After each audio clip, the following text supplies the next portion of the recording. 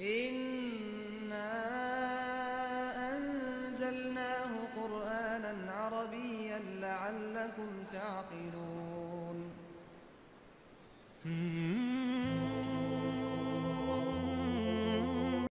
بسم الله الرحمن الرحيم.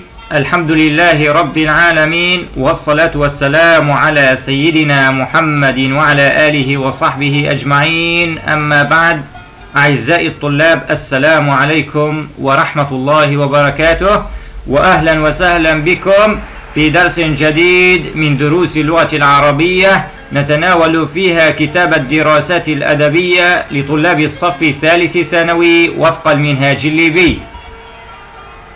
درسنا اليوم أعزائي الطلاب في البلاغة العربية وهو تكملة لما بدأناه كنا قد انتهينا في الدرس الرابع من دروس البلاغة من بحث علم البيان.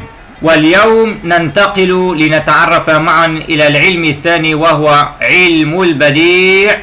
وفيه نتناول تعريف علم البديع وتسميته ونشأته. إذا درس اليوم هو مقدمة لعلم البديع. وقبل ذلك عزيزي الطالب لابد من التوضيح لنقول البلاغة العربية كما مرت معنا تقسم إلى ثلاثة علوم. العلم الأول هو علم البيان والعلم الثاني هو علم البديع والثالث علم المعاني. إذا البلاغة العربية ثلاثة علوم البيان والبديع والمعاني. أما المعاني فليس من مقررنا لذلك اقتصرنا في ذكر هنا علم البيان وعلم البديع. علم البيان تعلمناه في الدروس السابقة وعلم البديع هو بحثنا اليوم. وللتذكير قلنا علم البيان هو وسيلة إلى تأدية المعنى بأساليب عدة. البيان لغة كان كما مر معنا هو الإظهار والوضوح فهو وسيلة إلى إظهار المعنى تأدية المعنى باستخدام الأساليب العديدة منها التشبيه والاستعارة والكناية والمجاز. وهذه هي بحوث علم البيان. تناولنا فيها التشبيه والاستعارة وتركنا الكناية والمجاز لأنها ليست من البحوث المطلوبة منكم في هذه السنة. إذا علم البيان وسيلة إلى تأدية المعنى بأساليب عدة. منها التشبيه والاستعارة والكناية والمجاز. أما بحثنا اليوم فهو في علم البديع. فما تعريف علم البديع؟ هو علم يراد به تحسين الكلام وتزيينه بألوان بديعية من الجمال المعنوي واللفظي. علم البيان يهتم بالمعنى إيصال المعنى إلى المتلقي إلى القارئ. إيصال المعنى بالطرق التي ذكرناها التشبيه والاستعارة والكناية والمجاز. أما علم البديع فإن فإنه يهتم بتحسين الكلام تزيين الكلام. هو علم يراد به تحسين الكلام وتزيينه بألوان بديعية. وهذه الألوان البديعية إما أن تكون من الجمال المعنوي أو الجمال اللفظي أي إما بالمعنى أو أن يكون التزيين باللفظ نفسه بالمفردة نفسها. إذا تعريف علم البديع هو علم يراد به تحسين الكلام وتزيينه بألوان بديعية من الجمال المعنوي واللفظي. أتمنى أن تحفظها معي عزيزي الطالب. هو علم يراد به تحسين الكلام. أما علم البيان حتى نفرق بينهما علم يؤدي به المعنى بوسائل عديدة أو عدة وهي التشبيه والاستعارة والكناية والمجاز. هناك يو... هناك الغرض من علم البيان تأدية المعنى. إذا الاهتمام بالمعنى دائما أما هنا الاهتمام بالك... بتحسين الكلام وتزيينه. هو علم يراد به تحسين الكلام وتزيينه بألوان بديعية. الألوان البديعية وهذا ما سنتعلمه الآن إما أن تكون من الجمال المعنوي أي المحسنات المعنوية أو اللفظي أو كما نقول المحسنات اللفظية. والسؤال هنا يا ترى كيف نشأ علم البديع ومن الذي أسسه؟ يقولون يعد الخليفة العباسي عبد الله بن المعتز أول من قام بمحاولة جادة في سبيل تأسيس علم البديع وتحديد مباحثه. إن كل علم يبدأ ببحوث متبعثرة هنا وهناك. فنرى بحثا في هذا الكتاب وآخر في كتاب آخر. وتتداخل البحوث وتكون مع علوم أخرى. وهذا ما كان في البلاغة العربية في أول نشأتها فلم يكن لعلم البديع كتبا تختص به بل كان متداخلا مع علم البيان. فنراه مرة في علم البيان ومرة مع غيره. إلى أن جاء الخليفة العباسي عبد الله بن المعتز فجعل من هذا العلم علم البديع علما مستقلا. أي قام بمحاولة في سبيل تأسيس علم البديع وتحديد مباحثه وألف في ذلك كتابا سماه كتاب البديع. أول كتاب إذا في علم البديع هو كتاب البديع للخليفة العباسي عبد الله بن المعتز.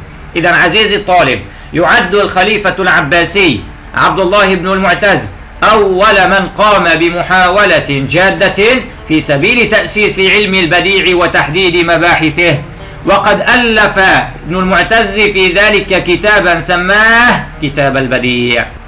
إذا الخليفة العباسي عبد الله بن المعتز يعد مؤسس علم البديع وذلك في كتابه كتاب البديع.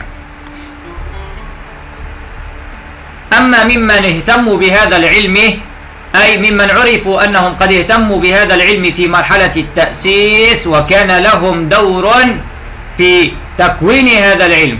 فمنهم قدامة بن جعفر وأبو هلال العسكري وعبد القاهر الجرجاني والسكاكي. إذا هؤلاء هم الذين عرفوا بأنهم اهتموا بعلم البديع في أول نشأته.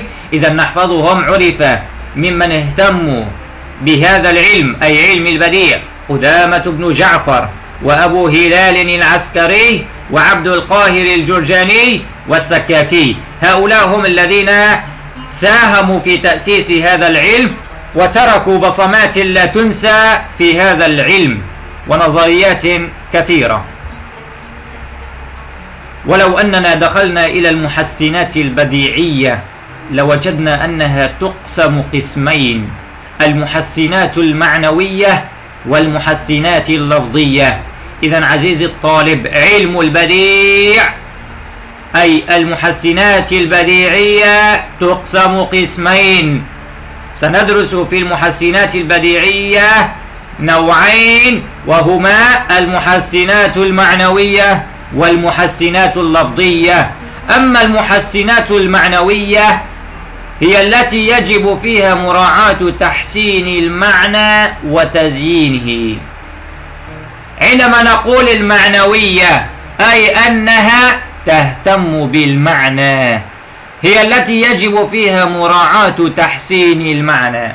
فيأتي بالطباق مثلا وهو التضاد أي الكلمة وضدها في المعنى كأن يقول ليل ونهار كأن يقول فرح وحزين كان يقول طويل وقصير وغيرها من الكلمات المتضادة التي تجمل المعنى وتزينه.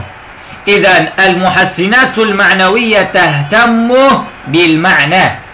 وهذا السؤال قد يأتيك صل بين العمود الأول وما يقابله من العمود الثاني. فيكتب لك في الأول المحسنات المعنوية ثم ينتقل إلى العمود الثاني ويكتب يجب فيها مراعاة تحسين المعنى وتزيينه.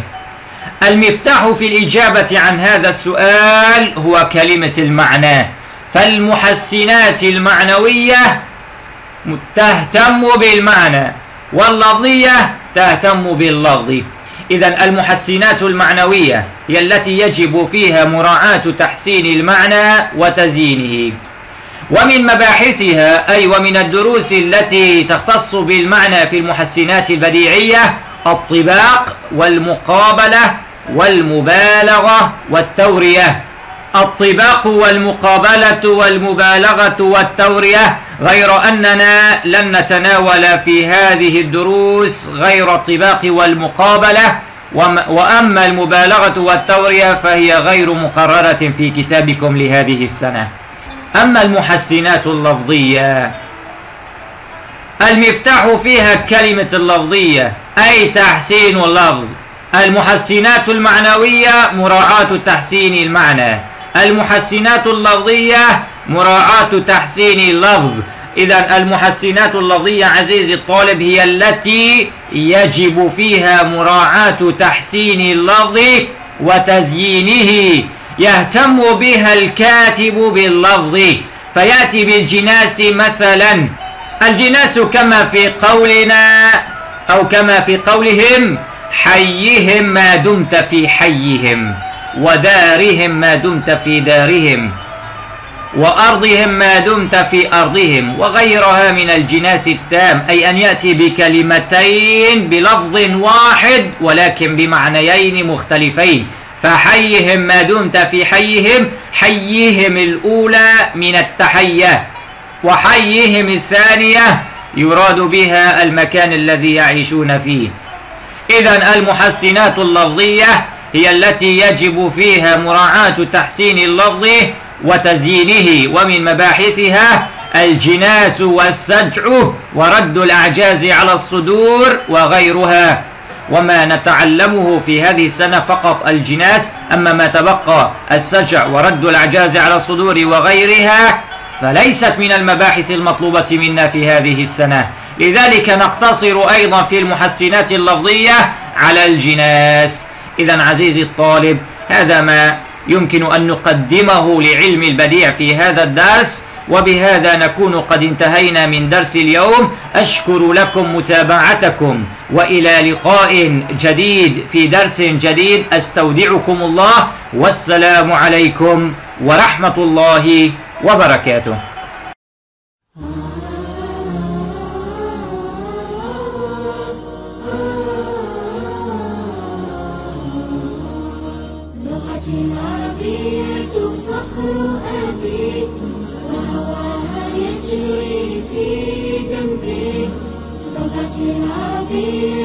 فخر أبي وهواها يجري في دمي.